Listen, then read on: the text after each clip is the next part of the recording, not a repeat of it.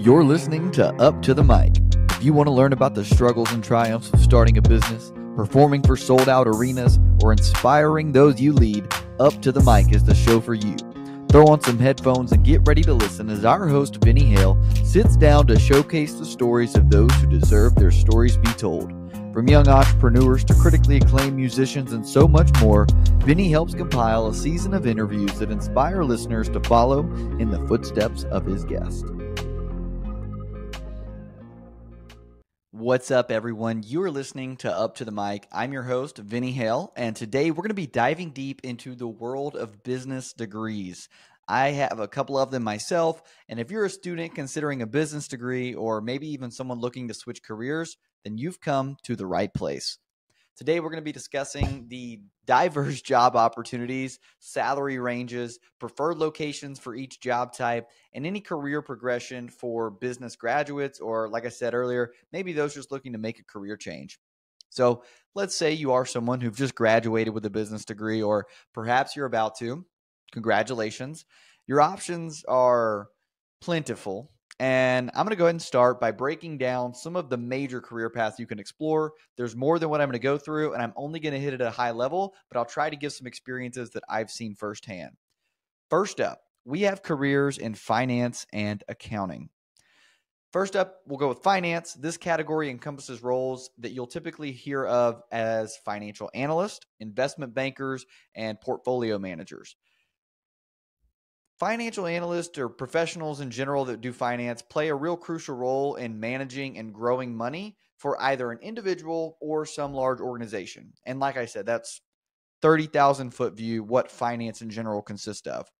Accounting, on the other hand, is more like tax accountants, auditors, CPAs, or certified public accountants, of which I am one in Texas. We're CPAs or accountants in general really maintain financial records. They help ensure compliance. And then at the end of the day, they can also help provide valuable insights to businesses because we have the level or line of sight into what specifically is making the finances operate in a certain way.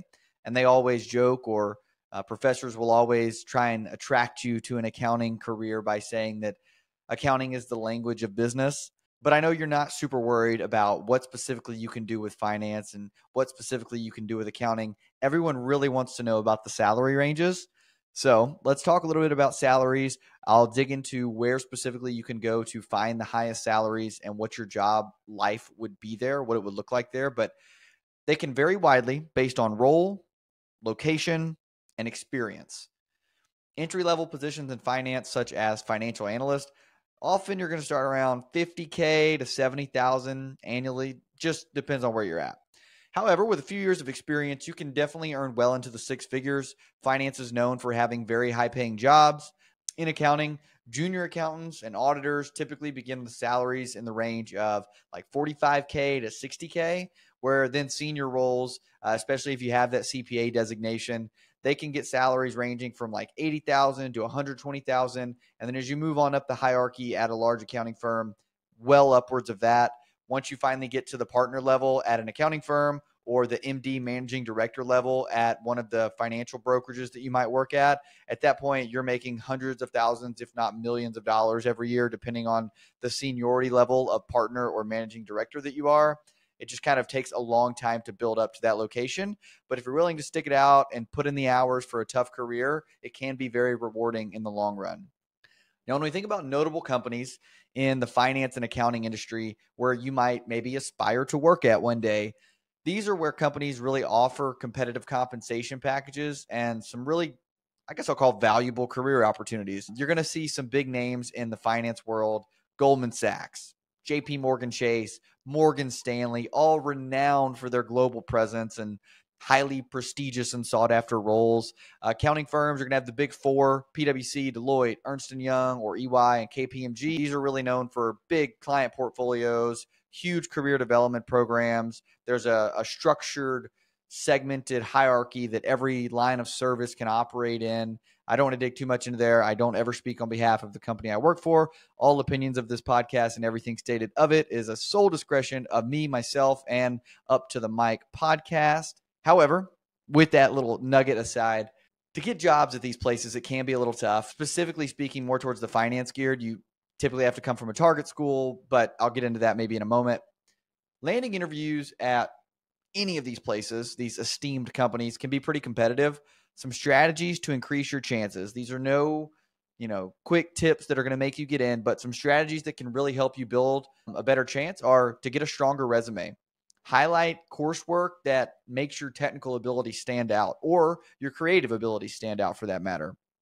Perform internships and get any and all finance or accounting related experience that you can prior to applying for that role.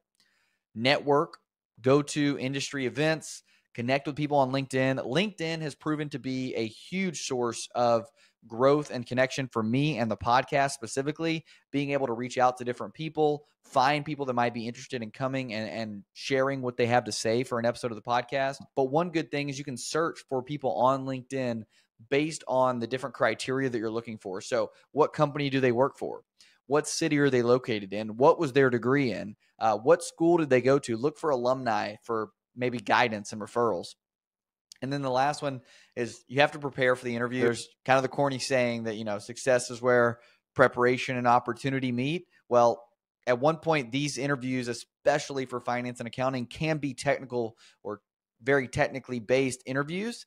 So you got to be ready to discuss not only your passion for the role, but your knowledge of the industry, your knowledge of the technical technical capabilities, and then that you know something about the company, not just that you're there because you saw they had the highest paying job offer for recent graduates. No, you need to be able to go in and perform some sort of business acumen or showcase some sort of business acumen by speaking about what the company might be going through. Lastly, credentials and licenses. So let's talk a little bit. Like I, I, know I mentioned the CPA designation, but how you can maybe boost your career in finance and accounting because the CPA is a lot less relevant for people that might be looking to go into investment banking for that matter. The Chartered Financial Analyst or CFA designation is highly respected in the investment industry. So if you're looking to go more of the finance route, that might be like the golden level ticket that you can get. In accounting, the CPA, sometimes an essential if you're going to really advance your career as a CPA or as an accountant. Uh, you'll have to meet the CPA exam requirements, pass the exams, all that jazz. Now, let's move on from finance and accounting and jump to segment number two, where we're going to talk about marketing and sales. Shifting gears to what is the dynamic world of marketing and sales. This domain really kind of encompasses marketing managers, marketing researchers, digital marketing specialists, all these people tasked with some sort of craft, crafting some sort of strategy to not only reach but engage and garner some sort of reaction from customers. Sales, on the other hand, they're the driving force behind revenue generation. That's kind of like the definitional term there, but really, sales has a few different connotations with it. Personally, sales can be an extremely lucrative career if you get into the right line of business with sales. But some common roles are going to be sales reps, account executives, managers, the sales managers that you report up to. These are all the people who basically go out, establish relationships with a client, with a customer, and then they keep those salary, or excuse me, they keep those relationships long and living enough so that one day they can then sell to that person. This is where they start to vary pretty widely, is when I talk about the salary discussions. Uh, so, marketing and sales, again, compensation can vary significantly based on factors, like I said earlier, of your role, your location, and your experience. Those are the three main things that factor into any compensation package at any level that you're ever going to look for. Entry level positions in marketing, typically going to offer things like 40 to 60K a year again, as you get some more experience, you can get up into that six figure margin, especially when you get into some senior roles. Like if you're the marketing director or uh, the chief marketing officer, you're going to be making well over six figures. Now, in sales, this is again, like I said, varies widely. Entry level positions are similar to marketing in the sense that they'll start anywhere from 40 to 60K. But very successful sales professionals can be very lucrative careers. If you're in an industry that's very lucrative, think technology, think pharmaceuticals, things like that can earn really, really big, substantial comp, uh, compensation based on commissions that is sometimes on top of an already 40 to 60K base salary. So that's where being able to be a salesman and, and or a saleswoman and go out there and really stamp your claim or state your claim on the product that you're selling, develop those good client relationships, that can make your career be extremely lucrative in a very short amount of time. Now, let's explain some of the different companies you can work for with sales and marketing. Again, I'm going to kind of speed through this a little bit because I don't know the sales and marketing realm as well as I do the finance and accounting. But some standout companies are going to be Procter and Gamble, Coca-Cola, Apple, all of them known for innovation, huge, crazy, awesome marketing campaigns. They all have got a major global presence. Sales realm, those are kind of marketing related. and the sales realm, companies are going to be Salesforce. They're going to be Oracle. They're going to be IBM. They're going to be all technology based. There are others, but these are going to be the largest because tech sales is where you're going to make the most money because it's constantly changing right now. And so being able, and again, I guess pharmaceuticals goes along with that, but if you're able to go in and help a company deliver some sort of tech that maybe they don't need and or excuse me maybe they don't know that they need that's when you're going to really get a lot of income coming in to get interviews in a sales or marketing position at these companies specifically it can be pretty competitive. Some strategies that can help you get noticed. Same as i said earlier build a compelling resume get some experience on there even if it doesn't have to be with a major company some sort of relevant sales or marketing experience. Attend those events, look for people on LinkedIn, leverage professionals who you might already know or who are already in that desired field, and then prepare, prepare, prepare for your interviews. You got to be ready to discuss not only what the passion for the role is, you got to know what's going on in the industry, what's going on with the company, how you're going to go in and have that business acumen already where they're not going to have to train you up to catch you up to speed on what's going on with the company. As far as credentials and licenses go, with sales and marketing. For marketing, there's like Google Ads credentials. HubSpot inbound marketing is a new one that I heard about the other day. I don't know a ton about it, but I figured I'd throw it in there just in case anybody wanted to go check it out. They really kind of help just uh, further showcase any expertise that you have in digital marketing.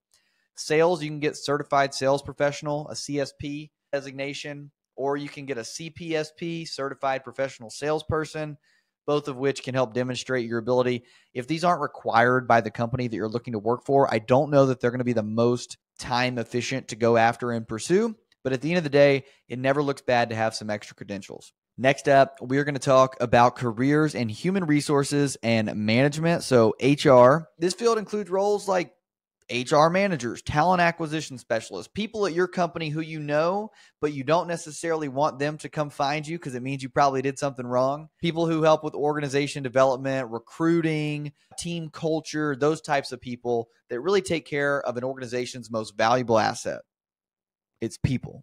Management, on the other hand, these professionals oversee teams, projects, entire organizations. And management can be upper management, meaning you went through a long career of maybe technical expertise and built your way into a management role. Or it could be that you're middle management, where you're managing a group of people delivering on a technical engagement day to day.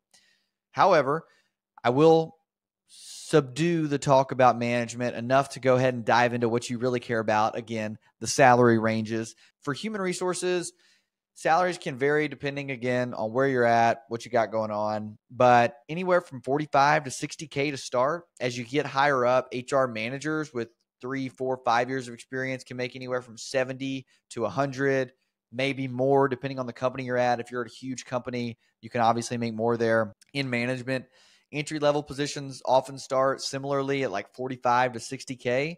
And then again, you have to build up that corporate ladder. Salaries for those middle management and like senior management roles can range from 80K to then well into the six figures, 200, 300, 400K, depending on what type of management and role that you're in. I've got a lot of friends that do project management on construction sites. They make very, very good money for themselves. Definitely can get up into those six figures as you begin developing that level of experience some notable companies to work for for HR management. HR, you think about what's just a big company, right? So your Googles, your Amazons, your Microsofts, all these people known for having creative offices, innovative HR practices, all these crazy employee benefit packages. You're going to have equity in the company. You're going to have unlimited PTO, all these amazing but sometimes over exaggerated benefits. In management, again, like you're still going to have some big companies. You're going to think of like your GE, your Procter and Gamble, like I said earlier, IBM, like I mentioned earlier.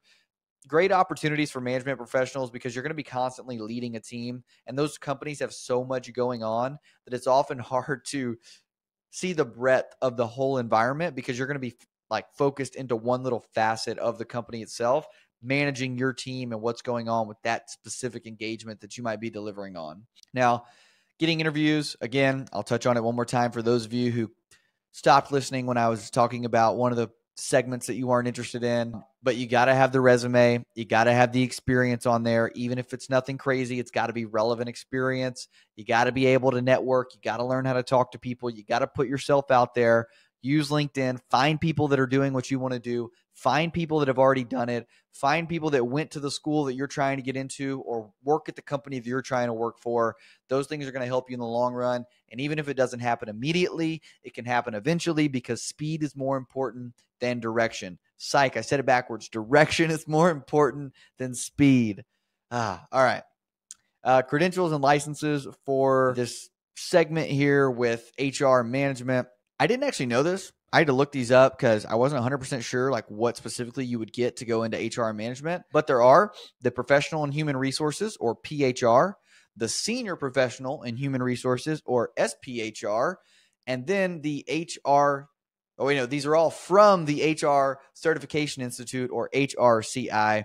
I had to look back at my notes at that one because I did not remember those. But in management, there's definitely one that sits high atop the mountain from the others, and that is the MBA, so the Master of Business Administration. This is definitely extremely highly regarded, can open doors to senior management positions on a little bit of a lower level, or maybe just a different direction as the project management professional or a PMP or a certified management consultant or CMC, like my boy Christian McCaffrey. But these can be beneficial for specific management roles that you might be looking for. It just kind of depends on what company you're looking to get into and what you might want to do. Now, for those with an entrepreneurial spirit, starting your own business is always a viable option. So let's take a little bit of a closer look at some different entrepreneurship careers and the paths that can range from starting your own business to becoming what's known as an entrepreneur within an existing organization and, and kind of driving some growth from within. But we'll start with potential earnings all over the place. I can't really give you a range. Uh, as a startup founder, your income may start low or you could be losing money as you, you know, invest in your business, but as your venture takes off, you could potentially earn millions and billions or whatever, you know, you know how entrepreneurs have this story and, and this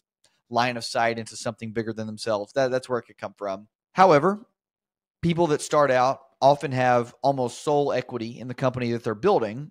So that's why you could see huge payoff in the long run. Companies that you might want to work for that are more entrepreneurial in nature. So, say you don't want to start off on your own company, but you maybe want to have some line of sight into entrepreneurial type work. In the tech world, you got companies like Airbnb, you got Uber, you got SpaceX, disruptive, innovative approaches to business, people that are known for breaking out of boundaries. They move fast, they break things, they do things differently. You got different industry sectors like you got Tesla, Patagonia, Warby Parker, one of my favorites, get my glasses from there. All these gain tons of recognition for their commitment to sustainability, to innovation. They've got all kinds of things going on that can really attract someone that has that entrepreneurial spirit to go and work for those types of companies.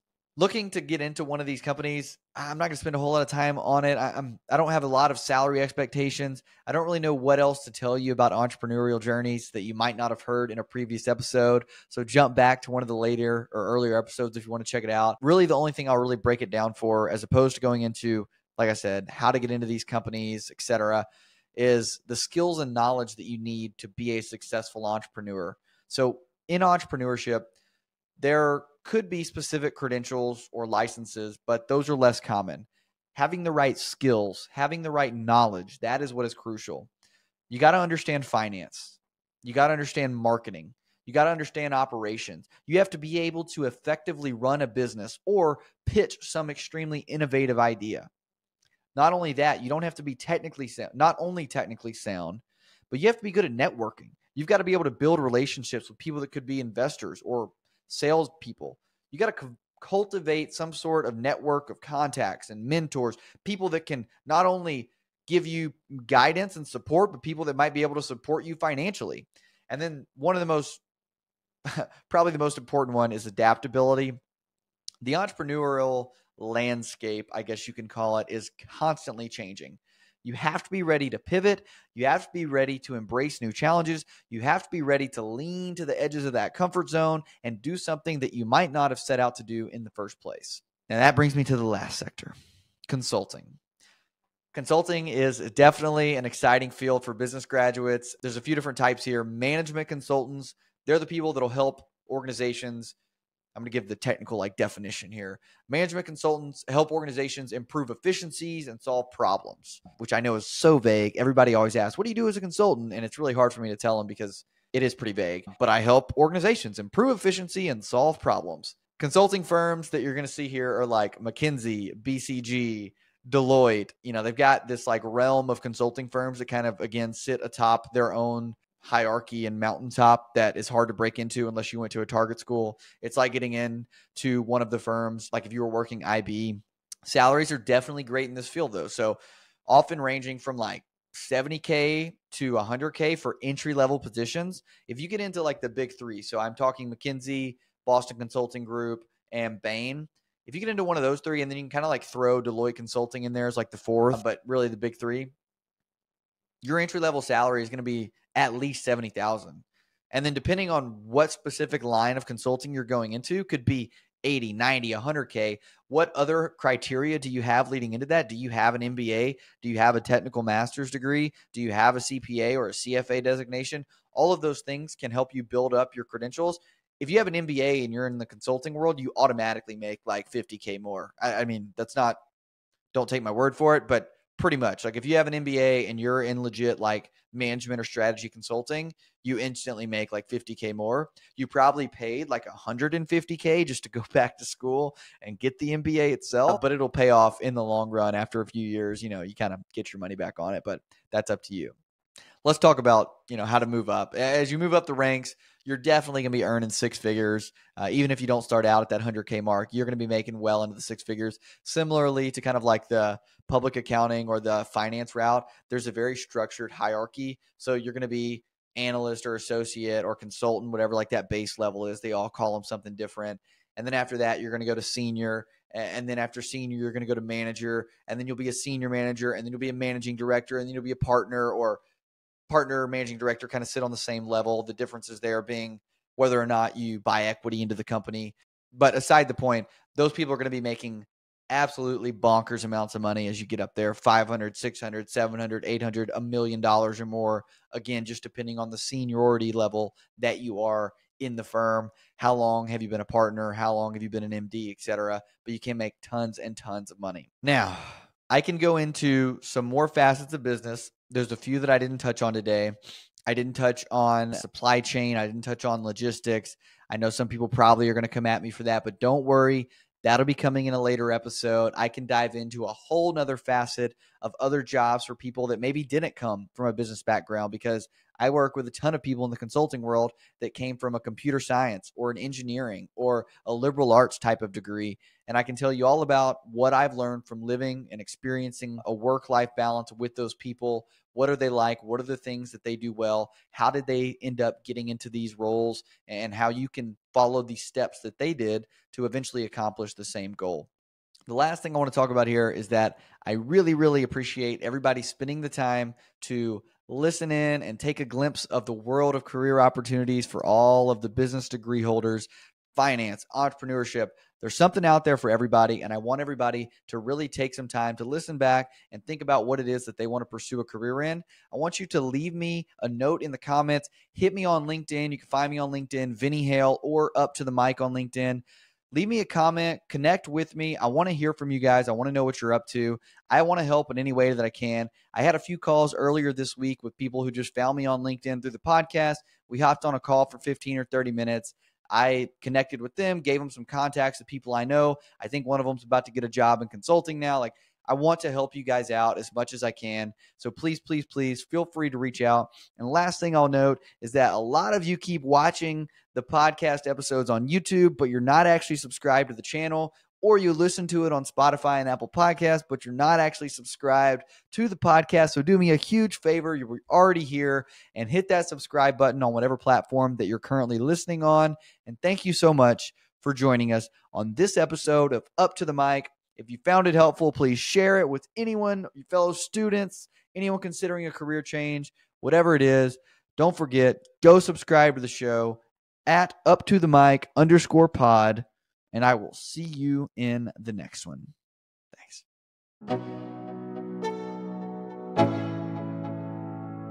Let's go. Yeah. I'm like an addict, do I gotta have it? I ain't even playing, got a really bad habit. If it moves, gotta grab it. Fuse like a magnet, lose, won't have it Till I'm doomed in a